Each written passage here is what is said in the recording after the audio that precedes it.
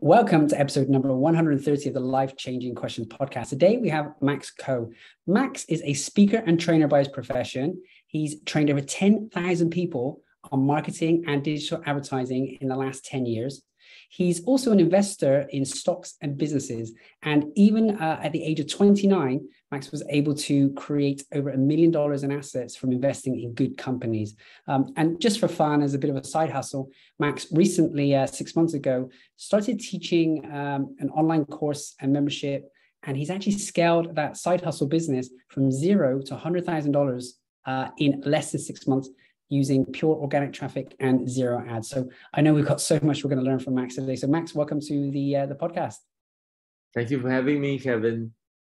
Uh, we uh, really appreciate Max. I know you get gotten up uh, super early there in Singapore where you live. now we go back. We were just trying to work out. Uh, we think somewhere between three, four, probably closer to five years. Uh, we got to meet an event uh, in Singapore. I think in Singapore, maybe even in, in Hong Kong as well. We we have done an event there, and I know yeah. you had a lot of uh, background in speaking and training. So I wonder if you could tell us a little bit about your journey and your background. What is it that you do? Yeah. So I think to kind of uh, compress it because I, I, I, can I can go all day with this, right? So to kind of compress it in like a five minutes to be mindful of time and the listeners as well. I think uh, my journey started when I was about a 15, 16 year old boy in school in Singapore. So uh, which is high school in Singapore. In, in locally, we call it secondary school. So uh, back then I had terrible grades. I was extremely rebellious. I kind of hated studying and all that kind of stuff. And my life changed when I watched this um, documentary on the television. Happened to come home from school one day. I was addicted to computer games. I just couldn't focus. And I came across this documentary showing uh, motivational speakers. So the documentary was on the life of motivational speakers. And I came across two motivational speakers that really just I would say lit a fire under my ass. Uh, the first guy was, of course, Tony Robbins, right? And second guy was more like a locally well-known speaker in Singapore. His name, his name is called Adam Khoo, uh, which is kind of like the Asian version of Tony Robbins. He's one of the more early pioneers of motivational speaking, peak performance coaching uh, locally in our scene in Singapore. And I came across just the documentary documenting their lives and everything. And as an impressionable, innocent, young 15, 16 year old boy, it struck the idea to me like, oh my goodness, wow, you can actually speak on stage, make people laugh, tell them your story, and earn big bucks. So of course, now looking back, I know it's not so straightforward. There's a lot of back-end stuff you gotta do, but there was the young, impressionable Max back then, and I was like, okay, I want to be like that. So that was how it really just planted the seed that I want to be a motivational speaker.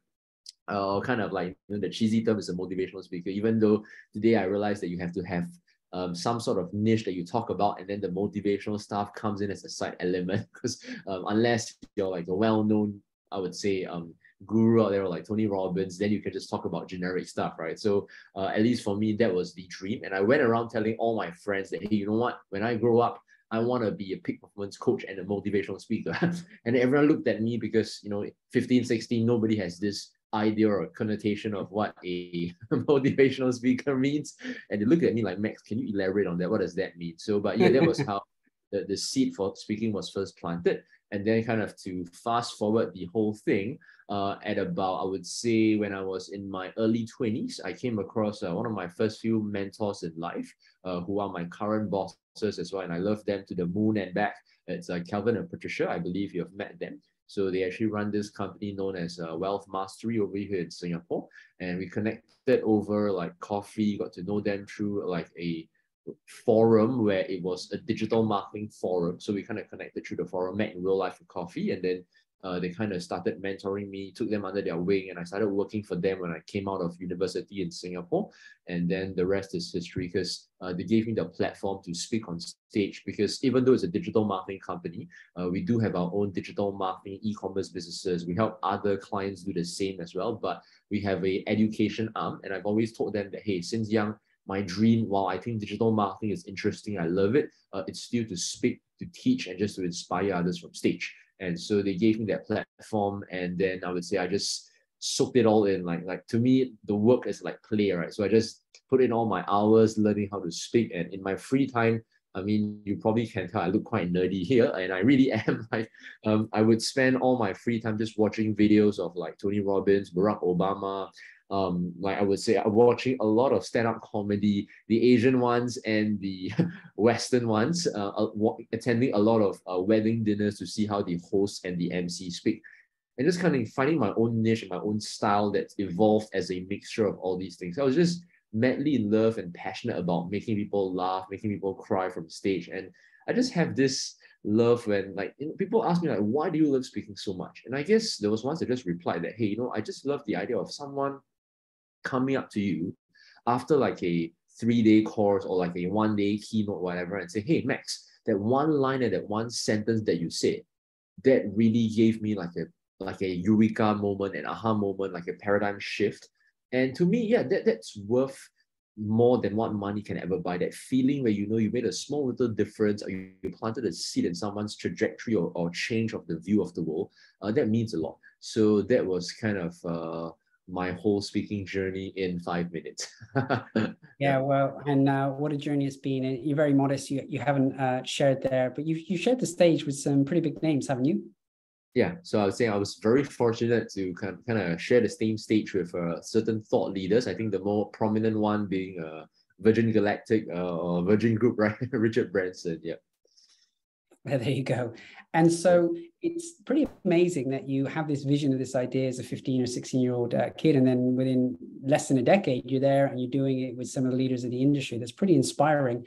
Um, have you any any key lessons that you've learned along the way? Is there anything you want to share with anyone else who has a vision or a goal that they want to accomplish? And you know, it maybe seems like it's a long way away from them right now. What, what would you want to share with them? Yeah, I, I think for me, thanks for asking that because you're kind of uh, this is like therapy, or you're taking me back on the trip down memory lane, which I love. Uh, a great interview normally is like therapy, so thanks for that. Uh, I would say two things that I felt looking back and reflecting had a very big impact on uh, my trajectory. So I think number one was this video that I watched when I was only 22, 23 years old, which I, am 32 this year in full disclosure. So I'm still kind of young, but uh, that was about 11 years back. And uh, I was still in university back then. Of course, back then I was still like a struggling amateur speaker, don't really have a platform yet because I've only just met my bosses and uh, my mentors, Calvin and Patricia. So uh, didn't really have much of a platform, but I came across this documentary movie. Uh, I'm not sure if you've watched it before. It's called Jiro Dreams of Sushi. Have you watched it before? I've never heard of it. Okay, I'll do like the one minute uh, synopsis for you. So the essence of the video that really played such a big impact on me, and, and I've watched it like another four or five more times since then. It featured the life of this Japanese sushi master. His name is called Jiro, J-I-R-O, and he's kind of like a three-star Michelin uh, sushi chef over in Tokyo, in Japan. And he's so well known in his sushi that people, Barack Obama, like um, well known celebrities from all over the world, um, Jay Chou, which is the Taiwanese Mandopop star, basically like Shinzo Abe, which is the, the previous Japanese president, uh, prime minister, uh, flew in just just to eat his sushi, right? And the essence of the movie featured his upbringing and his his how he he honed his skills of a sushi master.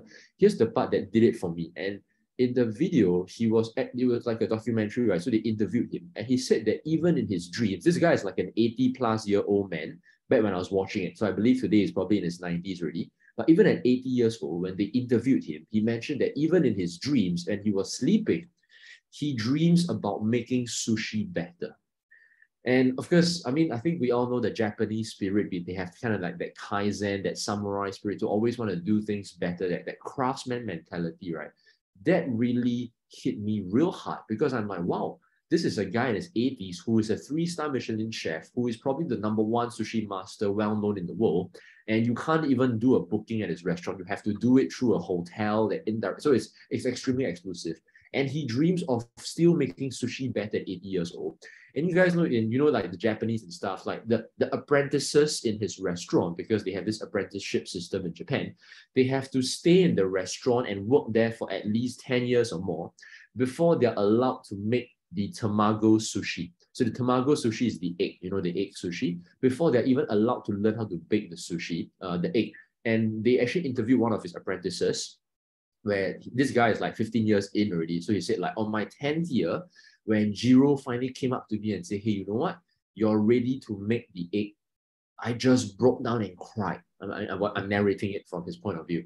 And I was like, wow, that's that's so beautiful. It's just the, I think the essence I took away was just one thing, craftsmanship the ability to just fall in love with the, the boredom of the day in, day out, plain vanilla repetitions, the process, which is what we call it, and just kind of uh, screw the outcome and just focus on the process that really hit me hard. So that was the same lens that I took it uh, onto my speaking, which is why, if you recall early on, I mentioned about me falling in love with speaking, watching a ton of speakers, and then having the platform to go out there and hone and polish my skills as a speaker, as a trainer, and then going back to the to the kitchen, what we call, and then trying to learn from more speakers, and then trying to like tune the recipe of my speaking styles, my body language, whatsoever.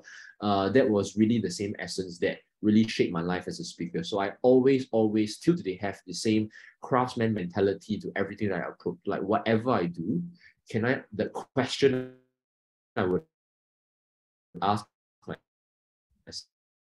myself, okay, we are here. The question I would ask myself, can I do to onto another level um, from last week, from the month before, without uh, with no regards for the outcome. So what can I do to keep getting better at this skill that I have? Yep. Yeah.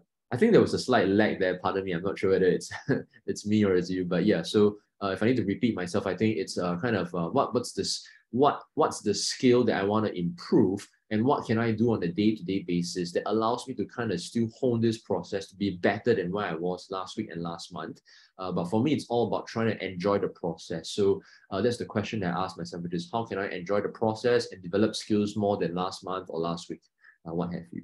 Yep. So I guess that's the number one thing that had a big impact. And I guess yeah, the second thing was just having mentors that give me the platform. So I think the right mentors are very crucial, which I'm sure you're a believer of. I'm sure you're mentoring people as well, Kevin. And so um, to me, it's just uh, without mentors, I think to me, it's just a shortcut, right? I think a lot of times in life, um, one belief that I've shaped over the years, in when I was younger, you know, in, in life, especially in the self-help, personal development world, we always love to ask this question, which is how can I achieve whatever the goal is? How can I achieve X, Y, Z?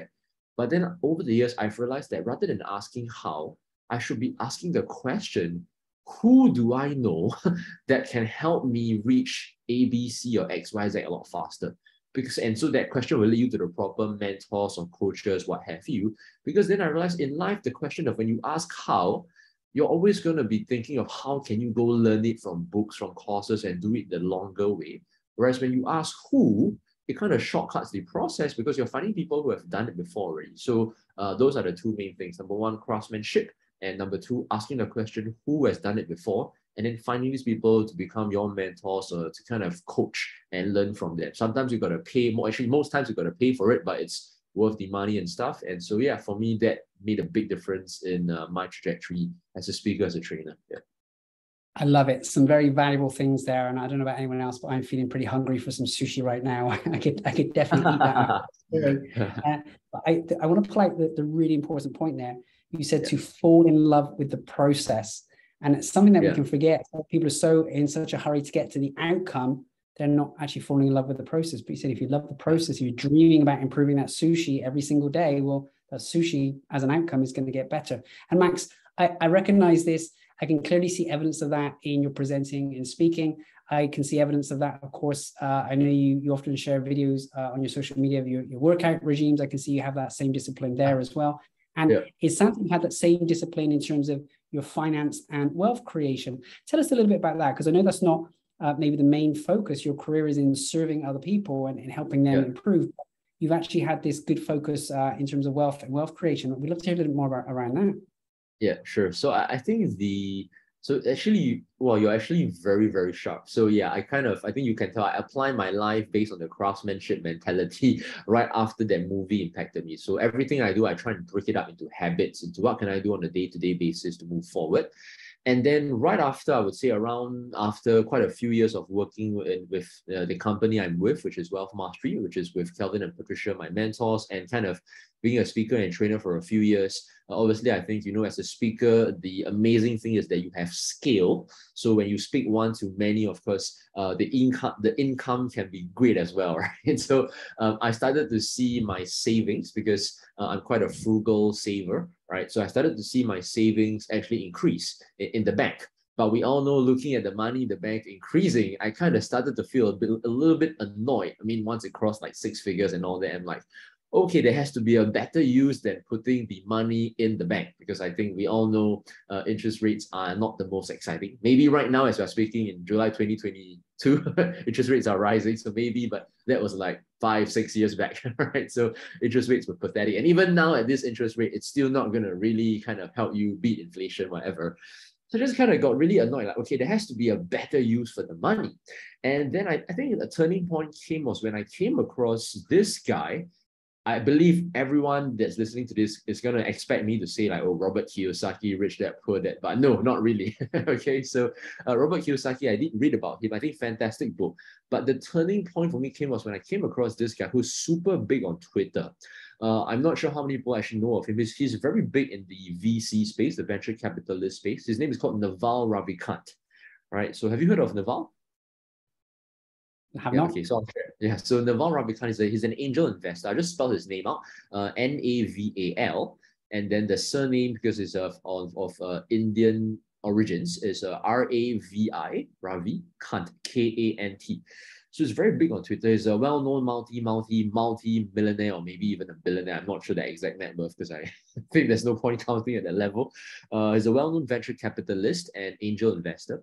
And he said this thing, uh, so he wrote like a tweet storm, which is a, a series of threads uh, or series of tweets on Twitter as a thread. And it's the, the title of the thread, if you guys have time, or if you have time, you can Google, it's called How to Get Wealthy or How to Get Rich. That's the title, but it's a well-known uh, article that it was made into an article. And the essence of the article was just talking about wealth. And I recall this statement that put this part in that is like, no matter how much or how hard you work, which we all know, you will never get rich renting out your time. The only way to become wealthy uh, in the capitalistic world, which we all live in, right, is to actually own a slice of an asset, which is equity. And of course, so that really hit me hard. And in a sense where so wealth is not money in the bank because money in the bank is just savings, right? Wealth is the robots working for you when you're asleep, the house that's bringing rental when you're asleep, the businesses generating cash flow for you when you're asleep. Kind of, so I'm kind of paraphrasing, but the essence of the article was talking about wealth is assets that earn cash for you while you sleep, which we kind of all know from like rich dad, poor dad. But that really hit it very hard home for me in the sense where you're not trying to get rich because you want to be able to buy fur coats or Gucci bags or Ferrari cars, whatever. You're trying to get wealthy because you want to have the ability to say no, the ability to control your time and be your own free sovereign individual. And for some reason, that really hit me so hard. So I started asking myself, okay, Max, I can do all these seminars and speaking classes all I want. And yes, it's good income. But income is just what we exchange for our time, right? So in, in exchange for providing value, it's kind of like an IOU uh, that, you know, society says, hey, you give me value, I'll give you this piece of paper with a Benjamin Franklin on it back, which is uh, money, right? And then what happens is, but I think to myself, I don't have any assets. So I started asking myself, do I want to start a business? And when I look deep down, I don't think I'm I have like the entrepreneurial bug and drive within me. So I was very self-aware of this since you know I I, I have zero interest in starting a business and building something from scratch. A side hustle, maybe, but not like a full-fledged business business per se. Which is why I have so much respect for business owners because it's just not something within me. So the part about building a business is out.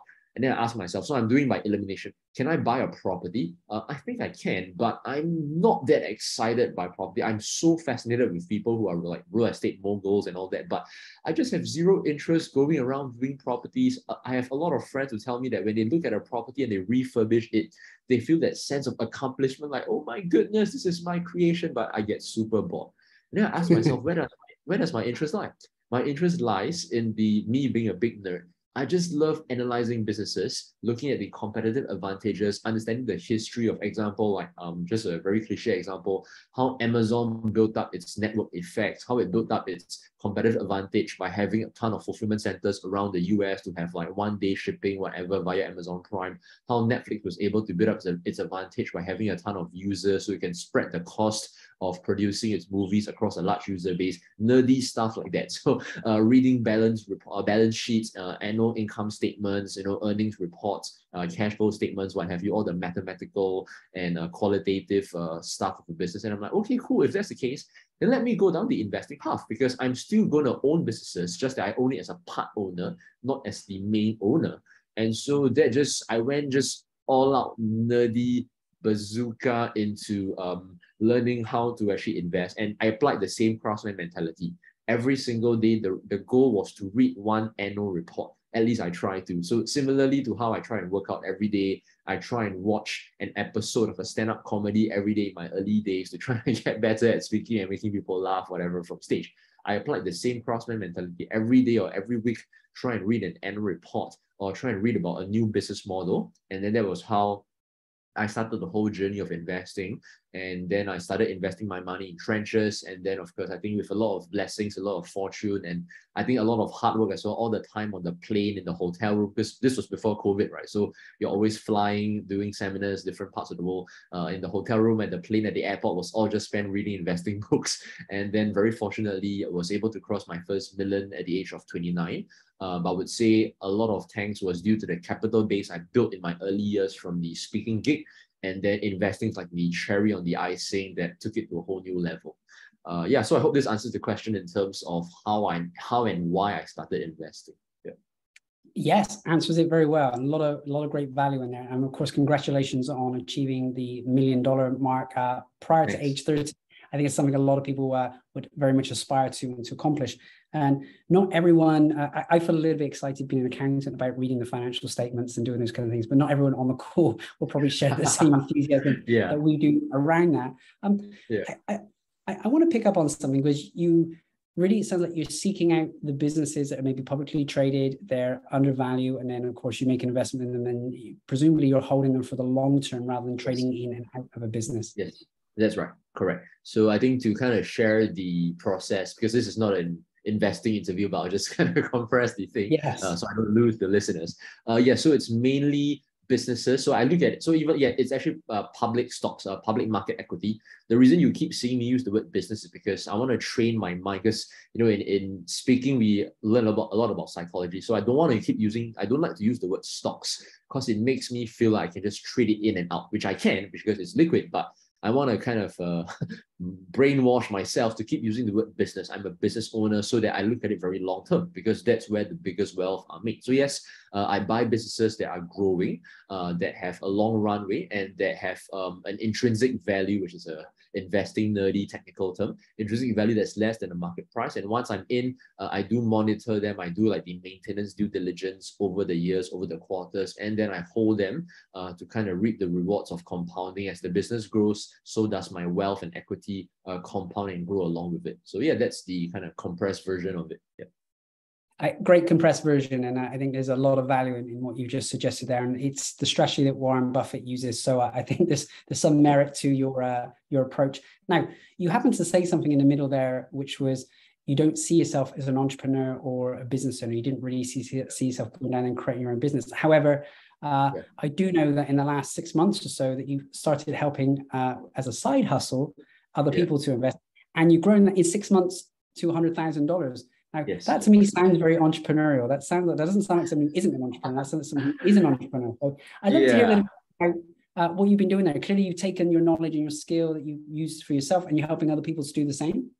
Got it. Yeah. So I, I think you you said something so right. Right. I'm like a walking irony. it's an oxymoron. yeah. I, I I really don't have entrepreneurial blood, but you know, because what happens is I just love teaching and speaking. I love investing. So um, just to kind of do a recap. So yeah, I am teaching an investing course right now with a good friend of mine. And so over the last six months, uh, combined with the investing blog, which has a membership subscription. And that's his, by the way. Uh, that's not what I do. For me, I'm more in the speaking training part. So that's the investing course. Uh, but total combined has been $100,000. But um, in revenue, I think the good part is because we don't have any paid traffic. So it's purely organic from Twitter. We have a strong following on Twitter. Uh, so that gives us like a profit margin of like 80, 90%-ish. Yeah, but I think to kind of answer the question regarding entrepreneurial blood. So I don't do it because I want to, so you know, entrepreneurs, I'm sure most entrepreneurs, you think of that purpose, that opportunity there. There's a there's a gap in the market and you go fill it because you want to. I realized because my own boss, Kelvin, which is a good mentor of mine, I, I, I've spoken at length with him and I realized what drives most entrepreneurs, including him, is just this need to build something. The entrepreneurs, you guys just have the need to build. For me, I don't have the, the, the itch to scratch to build something. For me, it's just I just love to teach and speak and just inspire others. It's just that bug within me that uh, Maslow's hierarchy, higher pyramid calling, what have you. so uh, that's why I do that. So I guess the money just comes about as a byproduct. Uh, but I think to kind of um, go a bit deeper onto the side hustle, the reason that we were able to generate that amount of uh, revenue in such a short time was because I think to kind of, in full disclosure, it was kind of like a, an overnight success, but it took quite some time in the making that um, me and my good friend who ran the investing course, uh, what happens is we were so passionate about investing. We started sharing our ideas, our investing thoughts and strategies online on Twitter over the last nine months to a year. This was for free. So we just did share on Twitter, just out of passion, just the love to share and like and be like a lighthouse to to like meet other like-minded individuals by sharing our investing ideas on Twitter. And Twitter's the platform because uh, Facebook's just only my friend. So Twitter has the algorithm to, to spread it to a more bigger domain, right? And then from there, uh, we were very lucky in the sense where I guess because maybe most investors on Twitter, they are Western. I guess we're the only two random Asian dudes and, and looking very nerdy and stuff. And of course, I think the, the content has to be valuable and have to have some substance. Uh, we were very lucky to build like a following of 30 and 30 to 40,000 followers each uh, on Twitter over the last nine, 10 months of just writing content daily. So I think, yeah, you can see it's back to my uh, craftsman mentality of if I want to do something, I want to build an audience, I do it daily, I build a habit every day. And so was able to build that audience. And so the essence was we built an audience who actually liked our investing strategies. They subscribe to our investing mentality and they like us as people. So there's a little bit of that uh, experts business kind of model indirectly happening there, even though it was never my intention to do that. It was just from as an outlet for me to just share. And with that audience, then it gives you the optionality to monetize, right? Because I think for a lot of business owners, a lot of side hustlers, a lot of people who start side businesses, they have the greatest products, the greatest cost, the greatest videos, but they're the world's best kept secret because you don't have an audience. Even if you have great content, nobody knows you exist and nobody wants to buy from you because they don't know that you exist. So for me, I, it was the reverse. I had an audience of 30, 40 K hungry raving fans, and all, all we needed was just to turn on the tap and like, hey, you know what? Let's just do an investing course, uh, create the the content, the slides, and then do like a two week webinar style for this course. We sold it at like uh, 500 US dollars, which is about 700 ish Singapore dollars. Uh, did two cohorts of about 100 students so far, and yeah, so the rest is history. So it was having the audience there and then just turning on the tap. So that's why you see I, I termed it specifically as a side hustle, not really as a business, because I didn't approach this with the business mentality in mind, but more with the let's build an audience and then the audience gives me the optionality to be able to kind of monetize it if I want to. Yeah. I love that. And so, even though you didn't necessarily set out with that as your intention, you come from a place of service, you built an audience, uh, and of course, then you have you can offer them a product or service. Now, one of the things you spoke about when you were talking about buying new businesses, it was uh, it was investing in an asset. But it sounds like your craftsman mentality of serving people has actually created you an asset in terms of an audience. So the audience can also become uh, very valuable and, and, generate you some good dividends and good returns. Now, Max, you, you're sharing so much value and so much wisdom here. Uh, I have the question, which is around the quality of the questions we ask ourselves, impact the yeah. quality of our lives. We may have already heard you give the answer. Like you've already given us two very great questions from uh, from that already. But I wonder, what is one question you've asked that had the biggest positive impact on your life? Yeah. So um, because you know this is the theme of your podcast, right? So this was what kept me awake for the last few days, trying to think what's that one question because you know, internally we always ask these subconscious questions, but we never really crystallized it out. So you know, in our mind, it we kind of get it, but if I were to say it, like, oh, that sounds so stupid when I say it. So I was trying to crystallize it, and I think to answer that question, it's actually there were two questions. So I'm going to be a bit greedy here and just share two because that's the truth, right? There were two. And um, okay, to be fair, it's only one, but there was a transition. So, so far you saw me share a lot about habits, craftsman mentality because of the Sushi Master documentary I watched. So the question, like, I think to kind of crystallize it, that I was asking myself over the last decade or more was really the question of like, am I using my time the most wisely such that I'm actually honing and improving my craft from where I was the week or the month before. So I can share very upfront. It's going to sound a little bit selfish, but in full disclosure, I want to be transparent as well. I was very, very selfish with the way I used my time when I was younger uh, because of the craftsman mentality. Because truth is, we only got 24 hours in a day. So I've only that limited amount of time to improve myself, whether it's by reading uh, books, watching courses, improving my speaking skills and my investing knowledge. So uh, whenever I had a new opportunity, a new kind of quote unquote distraction come up, I will always ask myself, will me spending this time there? So that was, that was a question I asked. Will me spending this time meeting this person, doing this coffee networking session help to improve myself? And uh, in terms of whatever skill I wanted to develop. So for me was investing and speaking. And I was extremely ruthless. I would say no a lot. I was like the classic no man, you know, like the yes man kind of thing. I was the opposite. I was the classic no man. Everything I would say no, no, no, no, no, because I just wanted a lot of uh, private time to go hone my skills. So I was very selfish and very guarded with my time. But I would say that did a very good thing for me because it gave me so much time to go build the assets in terms of the skills that I needed. So, so that was the question that I started asking myself, that I asked myself almost every day when I was younger. And then only in the more recent years, after I started crossing uh, seven figures, uh, I do like a six month uh, reflection on my own every six months. It's just kind of to reflect my life. So I do it by writing down. And I recall there was this one day, it was at about 29, 30 years old. So it's been about a few months after I crossed my seven figure mark. I was just doing the reflection. I was like, okay, Max, like I just had this aha moment, like, isn't it time we started to kind of say yes a bit more and live a little? Because my whole life I've always been the kind that says no to everyone. That um, so I kind of have I would say a younger version of me where I didn't spend a lot of time with friends and family it was a sacrifice to kind of build the things that I wanted to build.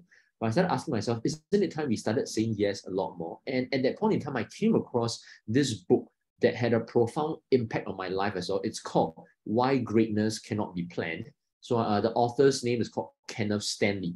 So as the book title speaks for itself, I'm not going to destroy the book by giving out all the secrets for you guys. Go read it yourself. It's an amazing book, which I cannot stop telling people about everywhere I go today uh, the essence of the book was a lot of the great things that happen in our life, whether it's achievements, personally, financially, spiritually, whatever, they happen more so because of serendipity instead of just pure brute force and planning. So, of course, there is diligence, there's hard work, there's skill involved, no credit taken away from that whatsoever. But if you actually think back to a lot of things in our life, the, the hard work and diligence we applied, it was also because we kind of crossed paths with that certain someone, that something that gave us that platform to then kind of apply that skill to it. So for me, I would say I would count myself lucky, if not for meeting my mentors, Kevin and Patricia, and being able to have that platform to go apply my speaking skills. No amount of craftsmanship or watching stand-up comedy or honing my skills will allow me to get to where I am today because I didn't have the platform that they provided. And me meeting them was just purely serendipity, purely by chance. And then me reading that article, that book by Naval Ravikant was also purely by chance. It's just pure randomness. And so the essence of the book is if life happens so much because of serendipity, then you should be a little bit more, it's an irony, right? Uh, a little bit more systematic about trying to make serendipity happen. Therein lies the irony, right? By being yeah. a, a, increasing the surface area of luck. So funny enough, today I'm like a little bit on the opposite side of the spectrum where I say yes a lot more, which is why this podcast is now happening because I can tell you in the past this would never have happened. I would just have said no, because this uh, 8 a.m., which is in Singapore time right now, I rather sleep and have the energy needed to go do better things yeah. in my day. But uh, when I look back, I'm like, okay, cool. Like Max, isn't it time to say yes a lot more to have serendipity open more doors for us? And believe it or not, that's the reason I went on Twitter. That's the reason I started tweeting about my ideas. That's the reason I started meeting more people randomly. And guess what? It's because of Twitter, me sharing my ideas randomly with no outcome whatsoever in mind, me saying yes to a lot more podcast interviews. That was how I met my co-trainer and partner, which is doing the investment course with me right now, because I said yes and I just went out there to open the doors out there. So I think today the question I ask myself a lot more is, will this activity and opportunity in front of me that I, I want to do, will it increase the surface area of luck and serendipity for me? If the answer is yes, I'll go do it. So I'm still very cautious about just saying yes to random things, like just random coffee sessions with people who like may be in a completely random industry that I have probably no interest in, and maybe I would feel may not have that much value to add, vice versa for me as well. I probably can't add much value. And so I still don't really like like random coffee conversations where it's just, hey, how you doing? Chat about the weather, shoot the breeze, and then talk about the dog and the hamster. Like not my thing. But um, I, I do am a lot more selective in terms of will this increase the surface? Is it a, a bigger generator of luck? And if the answer is yes, I'll go do it. So I start doing a lot more podcasts. I start writing a lot more online. I think in the last one year, I think that you probably noticed this, even we've, we've been friends on Facebook for the last like few years, but if you actually notice closely, I've only been a lot more open with sharing my ideas uh, online in the last one year, purely because of that book. So before that, I was very craftsman, heads down, very Asian as well. So very cliche. I want to keep to myself. I'm a bit fearful of the limelight. I'm a bit embarrassed. I don't want to talk too much about myself because the Asian genes within me. Uh, and so, yeah, so those are the two questions. I hope I kind of uh, didn't exceed the limit because I know it's one question, but yeah, those are two questions. Yeah. Uh, when, when the questions are so, are so good, you can exceed the limit. So I think really, really great question. And yeah. I, I love how they're kind of uh, slightly opposite to each other. So really, uh, the important thing, the first question then is am I really, I don't know if I got your wording exactly right, but am I really using my time wisely to be focused on improving my craft? And that really links back yeah. into the craftsman mentality and the habit there. I think that's that really comes through very strongly. And of course, the second part, we if we go too extreme with that, you say we, we close down all opportunity, you know, we're just focused in so much. So we need to allow ourselves to open up and let in some of this serendipity or luck. So the question and again, I won't get your words exactly, but is am I giving myself the opportunity to allow that in? Am I putting myself in a position to allow some of that luck or that serendipity to come in? I love both of those, and I think they're both that we can use. The bit that. I I think is something that I recognize a lot with the entrepreneurs I work with is you had that firm ability in the beginning to say no. If it wasn't going to allow you to get to the uh, you know to focus on your process, to focus on your craft, yeah, the answer is no. I'm not going to do that. Yeah. It reminds me of um, another book I, I read uh, quite a while ago now uh, when I first started on this topic of this show, and it was by an Olympic gold medalist um, who was a, a, rowing a rowing gold medalist. And his question, it was the name of the book, is like, "Will it make my boat go faster?" Right? And he had the same mm. mentality as you. If it's not going to make my boat go faster, I'm not doing it. The answer is no. Do you want me to come to the pub for a drink? Not going to make my boat go faster, right? And so he could very clearly uh, articulate yeah. that. So I love, I love both questions there. So is it going to help me improve my craft? And is yeah. there some opportunity here for this to bring me more luck or more serendipity? So I love both of those questions. Uh, Max, you've been an absolute uh, legend, there's so much wisdom and, and value uh, in this this podcast. Um, I can't thank you enough. Is there is there any uh, final messages or things you'd want to share with the audience? And uh, if the audience wants to follow up with you and get connected with you, where do they best go and find you? Yeah, I think the final message would be I think um, the saying no or saying yes, but really depends on what phase you are at life. So I think the final message is uh, because whoever is listening to this, you you will know your own phase of life better than me or your phase of your career. So if you're still at a stage where you're building assets, um, I think there is quite a bit of wisdom in being a bit of ruthless, uh, being a bit more ruthless and asking that question, which uh, Kevin just mentioned so nicely. Will this make my boat go faster? And there's really no shame in saying no because, quite frankly, the unfortunate thing is all of us only have 24 hours per day.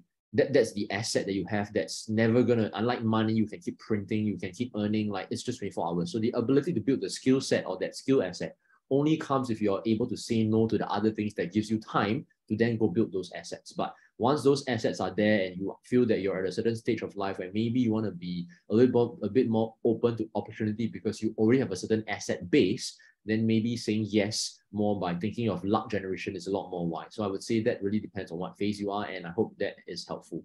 Uh, in terms of where to find me, so yeah, you can find me on Twitter or on Instagram or on Facebook. Uh, my handle on Twitter and Instagram is called Hey Max Koh. So uh, it's H E Y uh, M A X, and then my surname, which is K O H. Right. So Hey Max Koh on Twitter or on IG. Um, you can follow me there, and of course uh, on Facebook, you can just search me out Max Koh. I believe it will probably be the first one that pops up. um, I guess due to the number of uh, posts I make on Facebook. Um, yeah, so pretty much that's where to find me. Yeah. And wherever you're listening, just check the show notes. We will have that link there so you can click straight through. Max, I'm so thankful for your time. And uh, I'm off to go and get some sushi now after that course. Thank you so much. Thank you very much, Kevin. Thank you for having me. It's so cool. Thank you.